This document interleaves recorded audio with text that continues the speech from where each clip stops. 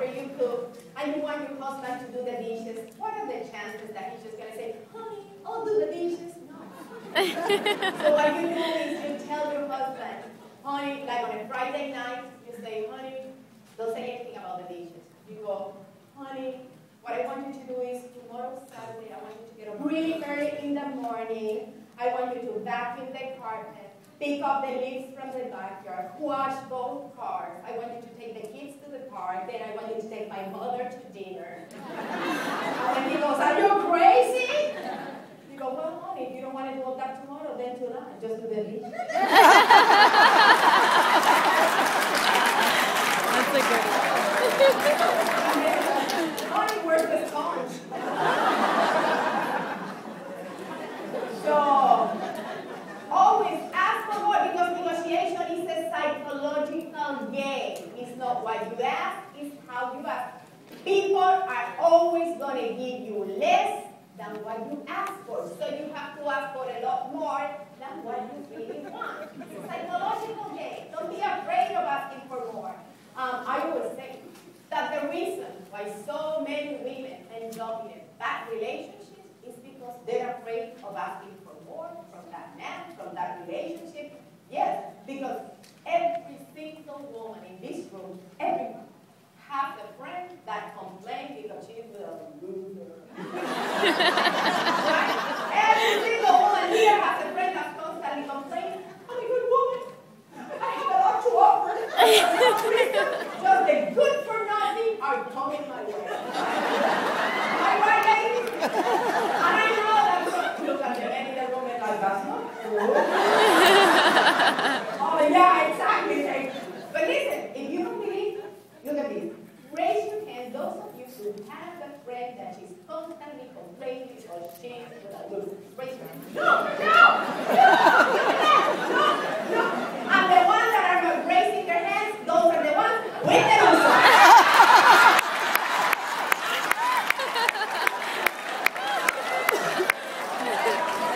Who's ready to raise your hand now?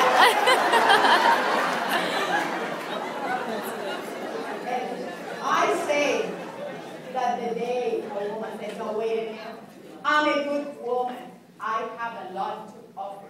So the man that's going to be with me has to be tall, handsome, elegant, good looking. A man who likes children, who doesn't smoke, who's a hard worker, who's committed, who's generous, who's romantic, who treats me like a queen, and above all, who's a good lover. I say that the day a woman asks for all that, she might end up with two things. where are you going to find that kind of man? I'll tell you where. Wherever you go to a women conference, and there's men in that conference, that's where you find them. Yes. Look at it. Stand up, stand up. Are you married? No, I'm not married. I was going to say they're always married. They're always taken. Look at it. You are married. You see, he's taken. Yeah. yeah. But you know the problem with women? We don't ask for nothing.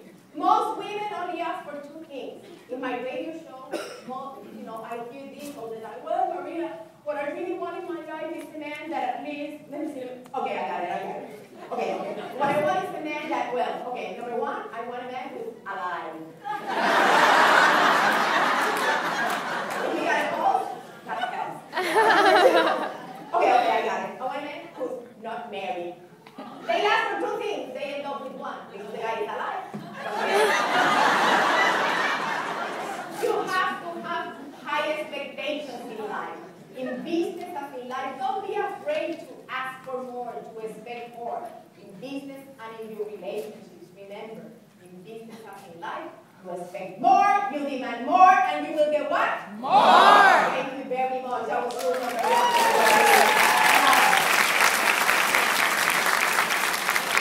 After teaching negotiating skills for so many years, I discovered that the biggest difference between a successful negotiator and an unsuccessful negotiator uh, was not their education, was not um, how many negotiating courses they took. The biggest difference between a successful and unsuccessful negotiator was their level of self-confidence. How much that person believes in themselves. So I said, you know what? I can teach people all the different negotiating techniques, tactics, and strategies. But if you don't believe in yourself, if you don't have confidence, you're never, ever going to get to where you want in life. And um, and I said, you know what? If that's the case, then I gotta find out more about this. I gotta teach people how to be more confident. And that's really when I when I looked into that field and I started um, trying to find out how come women are less confident uh, than men. What do we need to be more confident? And the reality in life is that what steals our confidence away is fear. You know, we're so afraid. Uh, when you were born, you were the most confident person in this world. You weren't afraid of anything. He, babies are not afraid of anything. Babies are only afraid of two things. Loud noises and free falling. Those are the only two fears you came into this. That's why when you do this in front of a baby, what do they do? Or if you throw a baby up in the air, what do they do? Right? Those are the two fears, free falling and loud noises. The rest of the fears, you learn them as you were growing up. Do we do with babies then? We throw them up in the air. they don't wonder why they think when they go to college. You know, um, all the fears, we learn them, and we're afraid, we're afraid of failure, we're afraid, we're afraid of failure, we're afraid of rejection, and uh, the reality is that if you wait in life until your fears go, go away, to take that step, to take a risk, you're never going to do anything in life. Um, and we all have a story. We have a story of why we can take, take a step. Um, you're going to say that it's because, you know, you were mistreated as a child, or because you had a bad relationship, or because you didn't have enough education, you don't have the money, you don't have the time. We all have a sad story. And I could tell you a sad story too. Um, when I was nine years old, my mother passed away, and it was the most devastating moment of my life. I really thought that life was over for me. And after my mother died, um, I was so sad and so desperate that I took comfort in food. And I started eating and eating and eating like crazy. I became an overweight child.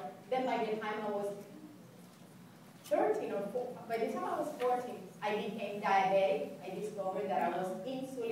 type 1 diabetic. I, I wear actually an insulin pump. from This is connected to my body and it gives me insulin instead of having to inject myself four or five times a day. Now I wear this and I share this with you because I could say my dad, you know what, um, my mother died when I was a child, I was an obese uh, girl, um, I have diabetes, you know, that's my story, that's what I can pursue my dreams. And the reality is that um, if you have faith in this life, you can conquer anything you want. My mother planted the seed of faith in me. Faith means anticipating and expecting a good outcome. If you have faith in life, that means that you anticipate and expect a good outcome. And guess what? The opposite of faith, you know what the opposite of faith is? Fear. Exactly. Fear is anticipating and expecting a bad outcome in your life. So whatever fears you have right now, that you're not afraid of taking action on, or taking a decision, of taking a risk, instead of having fear and expecting a bad outcome, expect the best anticipate and expect a good outcome.